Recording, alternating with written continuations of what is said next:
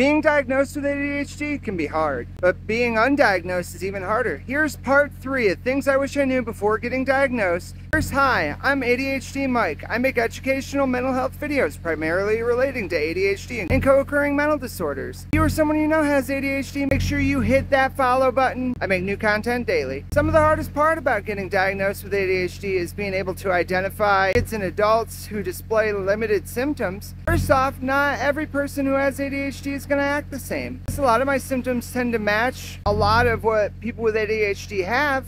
I was hyperactive, impulsive, and loud at first, but after time, I began to hide those parts of me I didn't like, the parts that kept getting me in trouble. That's how my anxiety started with me trying to figure out how not to be in trouble. The second part is parents are supposed to report if they notice their kid acting a different way. But as we all know, ADHD is hereditary. So how is a usually undiagnosed parent supposed to tell what normal is like? What do you mean he has ADHD? He acts just like me is a common phrase uttered, leaving a lot of kids like me who didn't struggle with schoolwork left behind. I believe every student should be screened for ADHD and other disorders and conditions to eliminate children slipping through the cracks. Already take thousands of tests. Why not give them one that will help them get treatment and the help they deserve? Thanks for watching the end. Oh, and don't forget to hit that like button.